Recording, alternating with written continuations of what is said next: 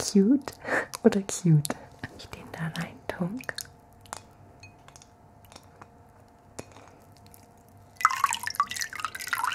Dann wird der ganz weich.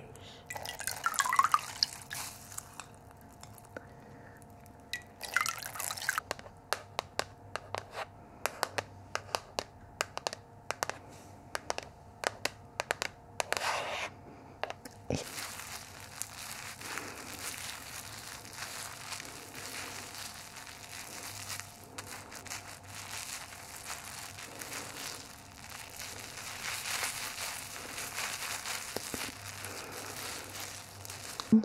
und ähm, ja, totaler Gamechanger das Serum.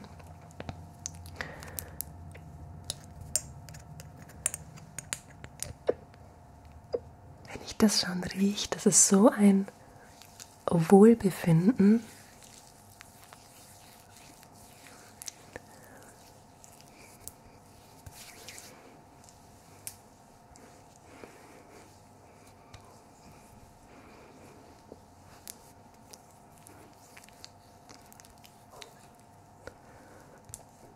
Oh mein Gott.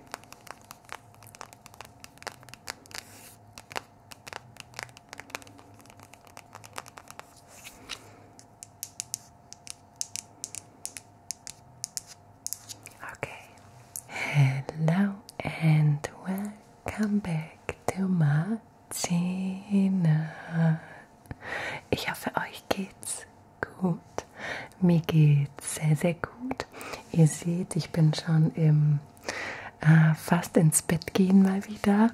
Ähm, ich habe schon mal so ein ähnliches Video gedreht, das werde ich euch zum Schluss an dem Video noch anhängen.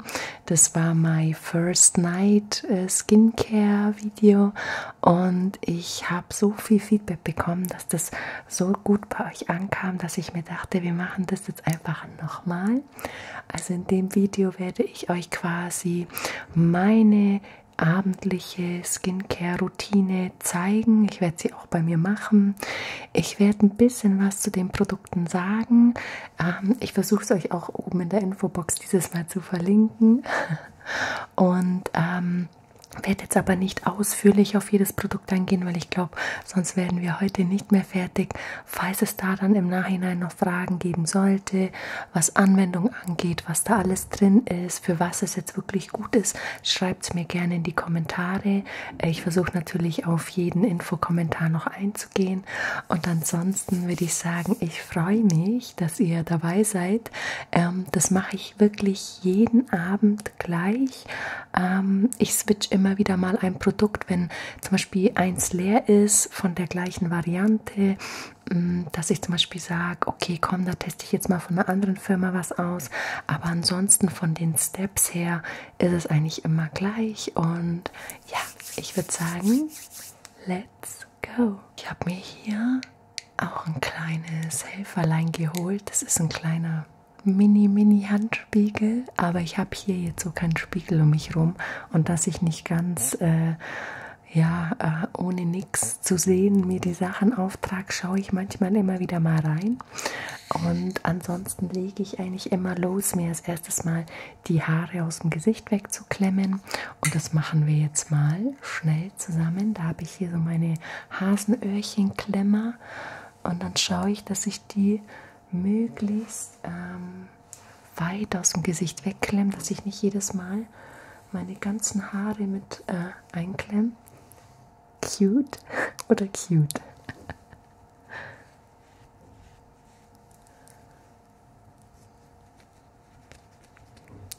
genau, und dann können wir schon starten. Ich mache mit euch jetzt mal die Reinigung auch. Ich komme zwar gerade aus der Dusche, also ich bräuchte es jetzt nicht mehr, aber wir stellen uns jetzt einfach mal vor, ich habe komplett Make-up im Gesicht, also ich komme quasi ganz normal abends von der Arbeit und würde dann noch mit Make-up und allem drum und dran jetzt meine Skincare machen. Dann kommt immer als allererstes die Reinigung des Gesichts. Und ich nehme da immer so einen ähm, Cognac-Schwamm. Die sind ganz hart. Und wenn man die in Wasser eintunkt, dann werden die ganz weich. Ich kaufe die immer beim TK Maxx. Der hat die eigentlich immer für einen guten Preis und die heben euch auch ewig. Also wenn ihr die jetzt wirklich nur so für Skincare nehmt, die gehen natürlich auch immer mit dem Skincare Cleanser gut sauber. Also ich habe die immer ewig.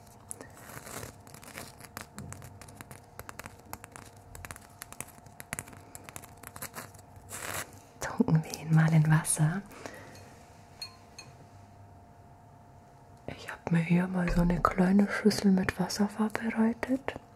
Und ihr werdet jetzt sehen, wenn ich den da rein tunk.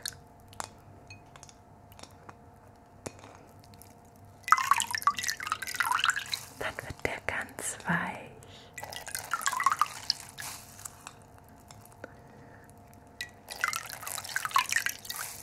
Genau.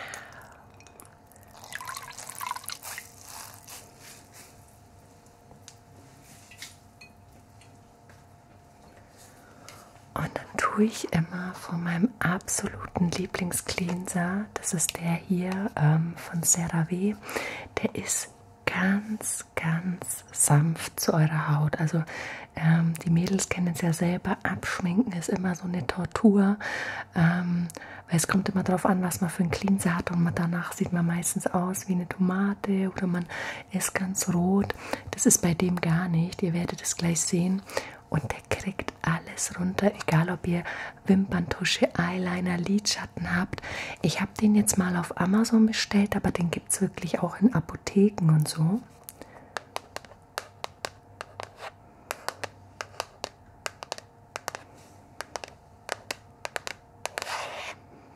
Ich habe die Flasche jetzt bestimmt schon ein Jahr und der ist immer noch bis dahin voll. Also nur, dass ihr auch mal ein Gefühl bekommt, wie lang solche Produkte auch heben. Okay, und da gebe ich mir jetzt immer zwei Punktstöße auf diesen angefeuchteten Schaum. Schaum wollte ich schon sagen, Schwamm drauf. Seitenmäßig ist es egal, was ihr nehmt. Ich nehme jetzt mal hier die Vorderseite. Und dann tue ich das immer ein bisschen einschmieren hier, dass das so ein bisschen schaumiger wird. Und dann fange ich an, mein Gesicht schön mit dem Schwamm zu reinigen. Ich nehme mir mal mein Helferlein.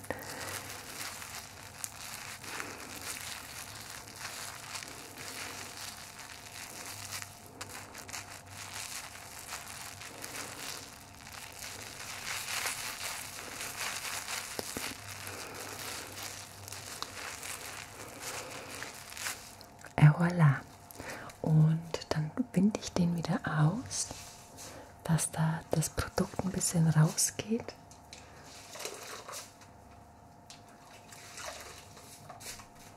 Und gehe dann nochmal drüber. Oh, jetzt tropft es.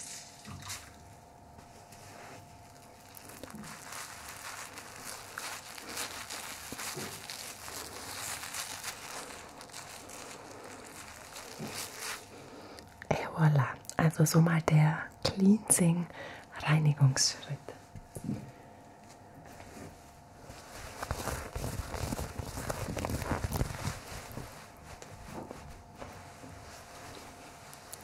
Und dann, wenn ihr das Gesicht schön gereinigt habt und es darf auch noch gerne leicht feucht sein, nämlich ähm, mein absolutes Lieblingsprodukt und zwar ist es von Theramid. Das ist ein Ceramid-Treatment, da sind 3% Ceramide drin. Und ich ne, habe das jetzt so über die ganz kalte Zeit, also gerade so über den Winter jetzt und über die kalten Monate, habe ich das unheimlich ähm, gern verwendet, weil einfach die Hautbarriere durch die Ceramide mega gestärkt werden. Und ähm, genau, auch ein ganz tolles Produkt. Also ich kann es mir aus meiner Abendskincare gar nicht mehr vorstellen.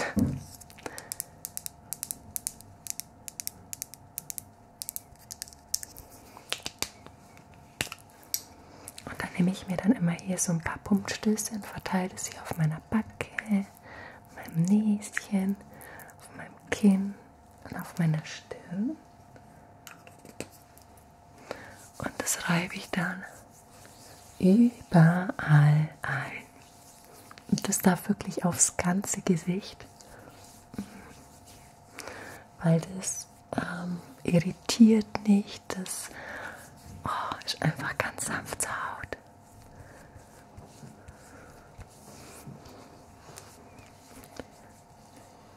So, habe alles eingeschmiert. Ähm, das lässt ihr dann kurz einwirken. Das dauert jetzt vielleicht so ein paar Sekunden und dann ist das weg. Das ist das Schöne bei dem Produkt, dass das eine ganz, ganz kurze Einwirkungszeit hat. Mm. Und ich merke schon, ist schon eingezogen. Wenn das dann eingezogen ist, komme ich immer zum nächsten Schritt. Das mache ich aber immer nur abends und zwar Retinol. Kurz zu Retinol. Ich nutze das jetzt schon äh, einige Zeit, ähm, bin auch happy, aber ich muss auch dazu sagen, ich habe mir schon einige Male die Finger damit verbrannt, ähm, weil ich, ihr seht, ich weiß nicht, ob ihr sehen könnt, das ist das 1% Retinol. Ähm, 1% ist das höchste, was man kaufen kann. Also wenn man drüber Retinole bekommt, dann ist das wirklich nur vom Arzt und 1% Retinol ähm, reicht auch. Ähm, Retinol ist einfach dafür da, dass die ähm, Anti-Aging, also klar, ähm, Falten mindernd und es macht die Poren auf der Nase und überall, wo man sie hat, kleiner. Rötungen und ähm, Flecken, die man so einfach ganz normal mal auf der Haut hat, die werden durch Retinol auch reduziert. Also wirklich eine Wunderwaffe. Ich bin begeistert, aber wenn ihr 1% Retinol benutzt, also ich habe das monatelang wirklich nur zweimal die Woche hintun können, weil sonst war es für meine Haut zu viel. Ähm, ihr müsst auf jeden Fall aufpassen, ihr müsst die Augenpartien, die Mundpartien komplett auslassen. Das ist eine zu dünne Haut für Retinol. Also wenn da mir ist passiert, ich habe dann hier oben an meinen Augen das Retinol hingebracht und das, da wird sofort die Haut geschält. Also da muss man ein bisschen aufpassen. Sobald sich dann die Haut aber dran gewöhnt hat, tolles Produkt, wirklich. Also ich kann es aus meiner Abendskincare nicht mehr wegdenken. Ähm, man sieht auch wirklich nach ein paar Wochen so, boah, krass. Also gerade so diese kleinen Fältchen hier oder hier oder wo man der Stirn immer so seine Denkfalten hat, die sind einfach blasser und ähm, ja, leider hat das Produkt auch seinen Preis. Ich nutze jetzt schon immer das Retinol von Paula's Choice. Das kostet jetzt 70 Euro. Ich weiß nicht, es gibt glaube schon auch andere Firmen, die genauso 1% Retinol haben. Müsste man mal testen. Genau.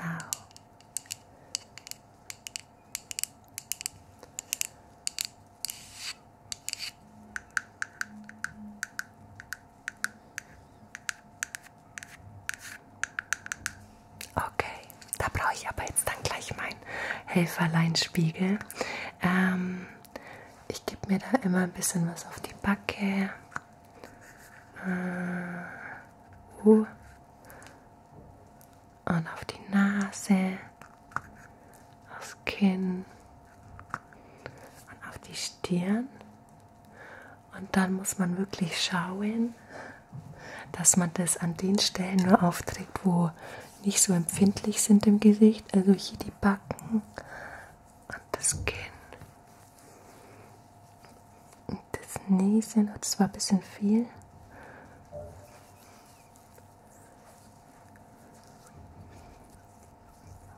Und wirklich versuchen, komplett um die Augen rum zu arbeiten, weil dafür ist das Retinol ein bisschen zu scharf, sage ich jetzt mal.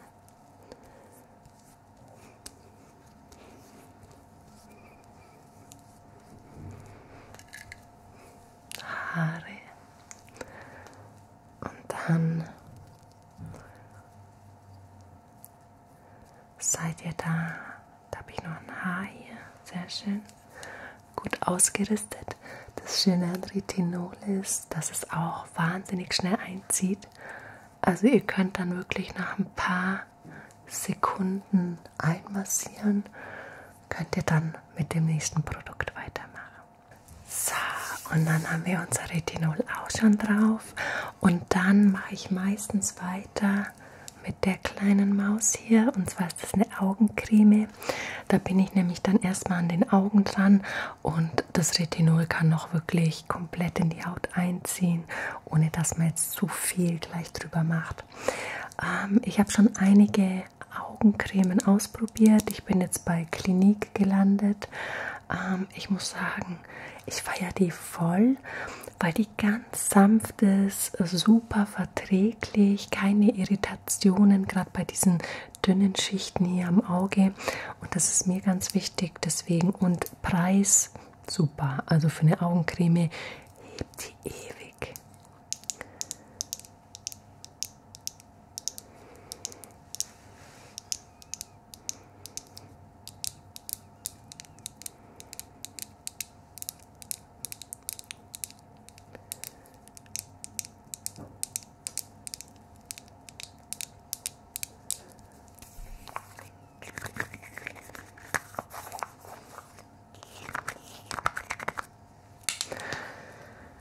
brauche ich auch wieder mein Helferlein, sonst nicht. Ich gehe da immer mit der Fingerspitze meines Nagels rein und nehme mir da ein bisschen Produkt raus. So ungefähr, wenn ihr das sehen könnt. Und dann nehme ich da immer mein Helferlein und dann tue ich mir unter das eine Auge ein bisschen und unter das andere. So, dann sieht das so aus. Und dann tupfe ich mir das immer ganz schön und das Auge und auch hier ein bisschen zur Seite. Gehe auch ein bisschen zum Lid.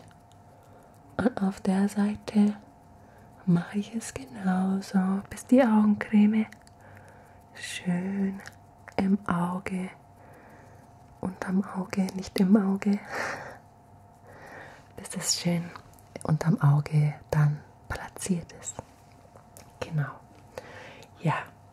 Jetzt sind wir mit dem Augencremeschritt auch schon fertig und dann können wir, ich fühle gerade, ja, Retinol ist, ist in the, in the skin now. Und dann können wir schon wieder einen Schritt weiter gehen. Ähm, mein nächster Schritt ist dann das hier. Das ist ein Hyaluronserum.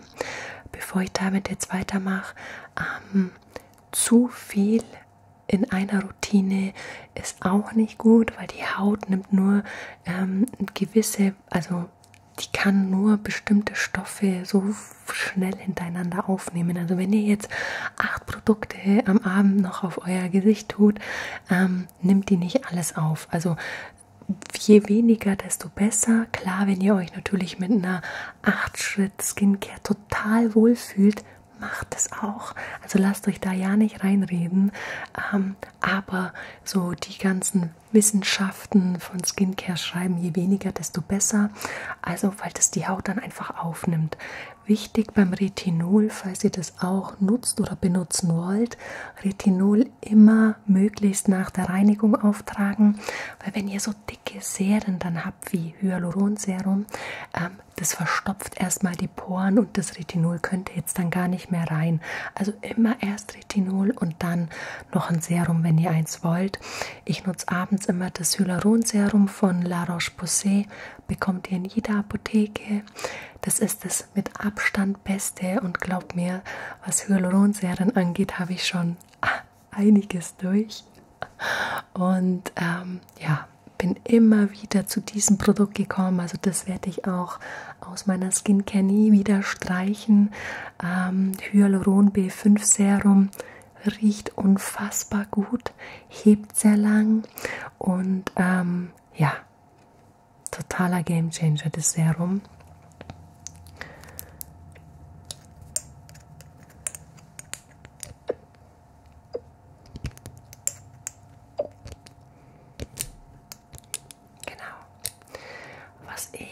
ganz lange mal falsch gemacht habe. Ich habe mir immer gedacht, cool, wenn ich hier so eine Pipette habe, dann kann ich mir mal das schön direkt auf die Haut tun.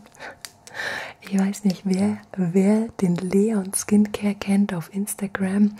Und der hat das voll ähm, untersagt, dass man das tut, ähm, weil egal ob euer Gesicht noch so gereinigt ist, es bleibt immer was an der Pipette dann hängen. Und das nimmt ihr dann immer wieder mit in das Produkt. Und das Produkt verändert sich dann. Also lasst mich jetzt hier doch noch ein bisschen Retinol haben, dann schmiere ich jetzt an die Hyaluron-Pipette, Hyalur, ähm, äh, komme schon durcheinander, schmiere ich da jetzt quasi dann ähm, das Retinol noch und tust dann wieder ins Produkt rein und dann ist es eigentlich fatal. Also er hat gesagt, immer auf die Hände geben und mit den Händen dann einmassieren. Das machen wir jetzt auch. So, dann gebe ich mir das hier auf die Hand. Steck das wieder da rein. Und dann ab damit ins Gesicht. Oh, wenn ich das schon rieche, das ist so ein Wohlbefinden.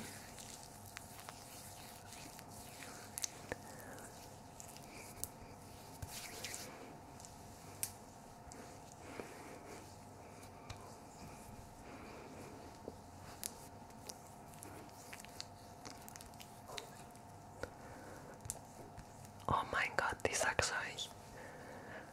dieses Serum ist einfach das mit Abstand Beste. So, und dann ist Hyaluron auch schon auf der Haut. So, meine Lieben, und dann kommen wir auch schon zum vorletzten Schritt und zwar eine Creme. Hört mir auf mit Nachtcremen.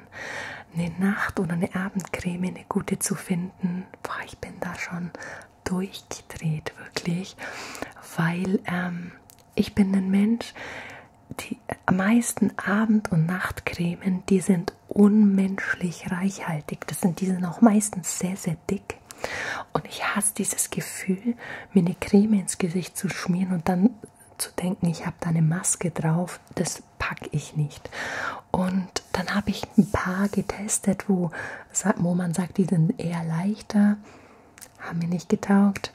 Dann habe ich ein paar getestet, die wirklich im teuren Bereich waren. Habe ich nicht vertragen. Oh, ich sag's euch, schlimm.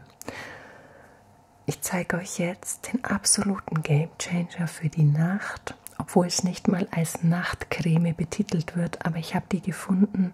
Ich werde die nie wieder für meine Abendroutine ändern. Denkt an meine Worte, wenn wir nochmal so ein Video drehen. Ihr werdet diese Creme immer wieder zum Schluss finden. Ich habe sie ja schon gezeigt. Und zwar meine Veleda Skin Food nährende Intensivpflegecreme. Die ist auch sehr reichhaltig. Man merkt auch von der Konsistenz, es ist jetzt keine Tagescreme, die schön flüssig ist. Also sie ist schon eher dicker. Aber ihr werdet es gleich sehen. Sie lässt sich unfassbar sanft verstreichen und man hat so das Gefühl, sie bleibt zwar drauf, aber am nächsten Tag ist sie weg. Und das finde ich das Schlimmste, wenn du am nächsten Tag aufstehst und du hast immer noch so die Abendcreme im Gesicht. Nein. 9 Euro in jedem DM, in jedem Rossmann für Problemstellen an jeglicher Haut, egal ob ihr mal so raue Ellenbogen habt oder mal raue Knie. Ich habe sie mir auch schon an die Füße gemacht, weil ich bin auch immer eine, ich habe manchmal auch so voll raue Füße. Game Changer, wirklich Game Changer. Meine Nachtabendcreme. Und das ist jetzt wirklich nur ein Gefühl von mir. Ich weiß jetzt nicht, ob es real ist. Das müsste man mal die Wissenschaft entscheiden lassen.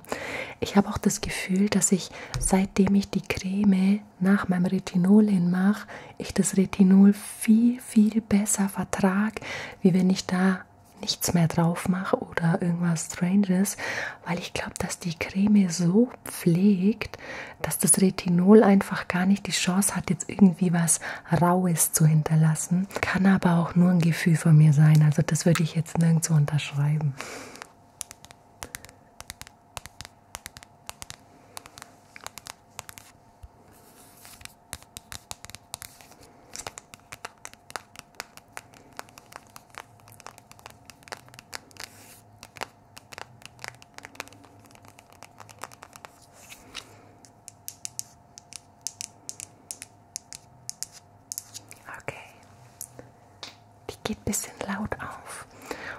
Es auch immer, ich nehme mir da immer ein bisschen was aus der Packung raus und tupfe mir das hier so auf die Backen, das Kinn, auf die Nase, auf die Stirn. Ihr kennt das ja jetzt mittlerweile. Dann sieht man immer so aus. Und dann verreibe ich das in meinem Gesicht und die Creme dürft ihr wirklich überall hin machen. Ihr werdet es auch sehen. Ich fange mal hier an.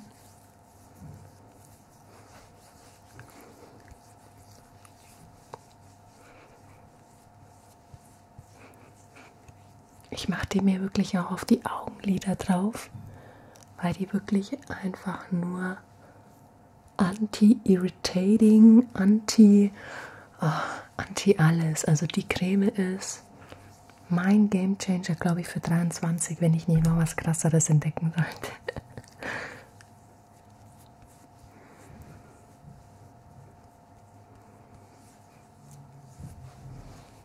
Et voilà. Die Creme ist drauf. Meine Lieben, dann sind wir mit dem Gesicht fertig. Ähm, jetzt ist meine Abendroutine vorbei und ich würde dann ins Bett gehen.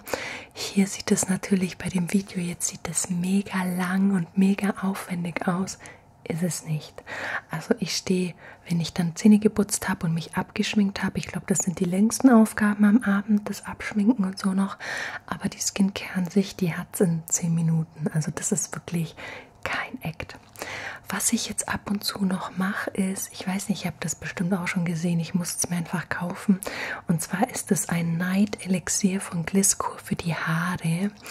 Ähm, ich wollte es unbedingt probieren, da steht Splissversiegelung über Nacht mit ähm, Ionkomplex Anti-Splisswunder. Und ich flechte mir meine Haare abends dann immer zu einem Zopf zusammen und dann nehme ich mir zwei Pumpstöße und tue mir das so in die Spitzen rein. Dann flechtet ihr die Haare zusammen oder bindet sie zusammen. Am nächsten Tag kämmt ihr das quasi wieder raus. Ich habe keine Ahnung, ob es was bringt. Ich nutze es gerade abends immer für meine Haare.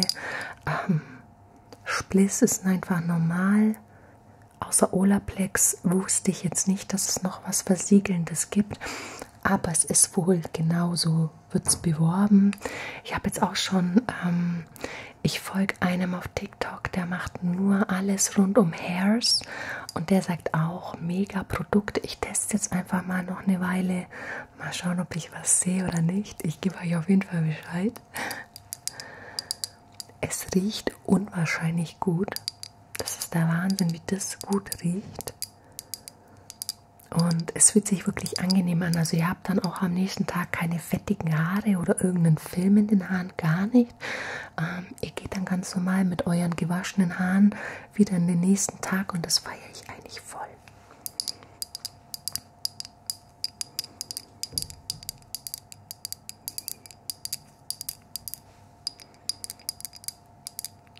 Oh meine Lieben, das war's mit meiner Abendskincare.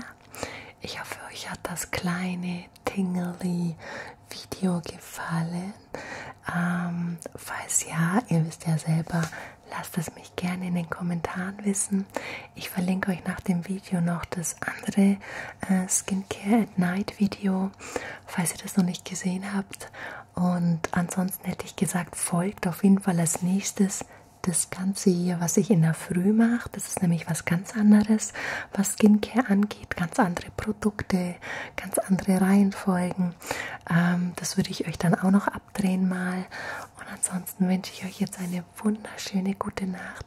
Schlaft schön. Ähm, ich werde das jetzt definitiv tun. Und wir sehen uns ganz bald.